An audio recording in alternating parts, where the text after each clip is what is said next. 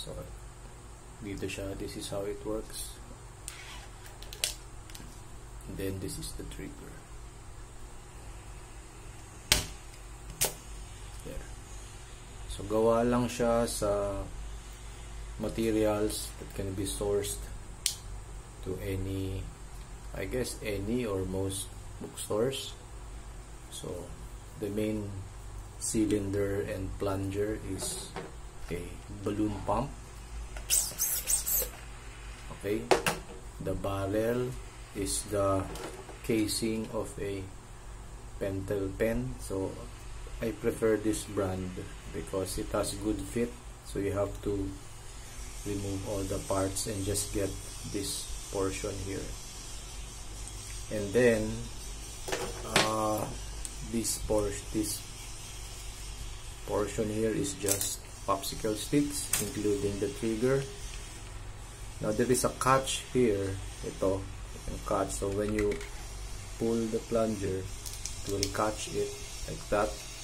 So when you press this it will lift the catch and then it will fire. And the metal part is the is this one. So this is a binder clips. So you use that and then uh, I had to also reinforce uh, this shaft here because the original one is quite thin. And when you try to notch it lagyan mo ng notch uh, it tends to bend. So to reinforce it you could use uh, a ball pen like this.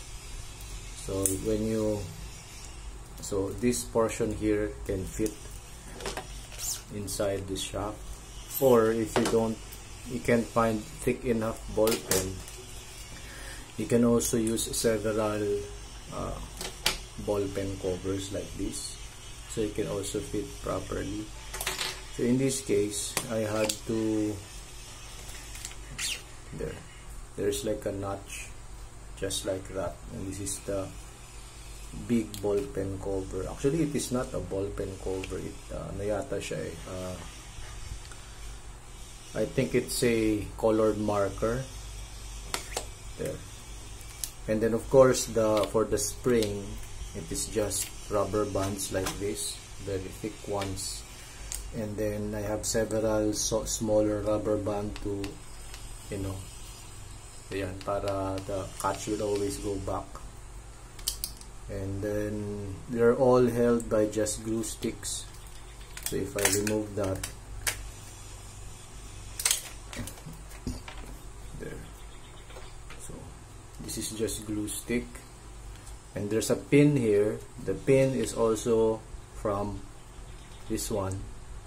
And how the trigger looks like is this. So it's just layers of popsicle stick and I had to shape it like that and then glue stick the metal piece just like that. So it goes like this so here this is uh, again popsicle sticks. Two layers of it to you know give that a little bit of strength. Yan. So ganun lang siya.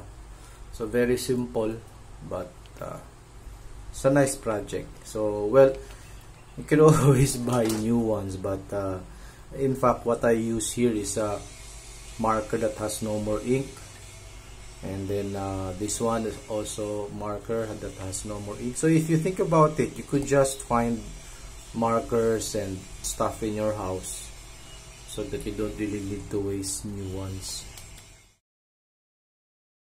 Uh, this one a cutter to cut the popsicle sticks and some of the plastic parts. You could actually use this to even cut the pentel pen but you just have to be careful.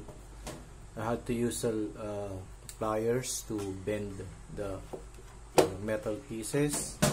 And of course uh, glue gun now to be able to create this hole here in the pin right?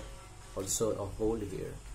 Uh, what I did was just to use a small screwdriver uh, like this one. So the the flat one and you could use it just forcing it gradually turning it until you know you get a hole so. If you have other you know devices that could uh, make holes that should be better. If you have a drill that's much easier. But uh, I tried to do everything uh, manually just to make sure that it can be really be made by anyone. Right so that's it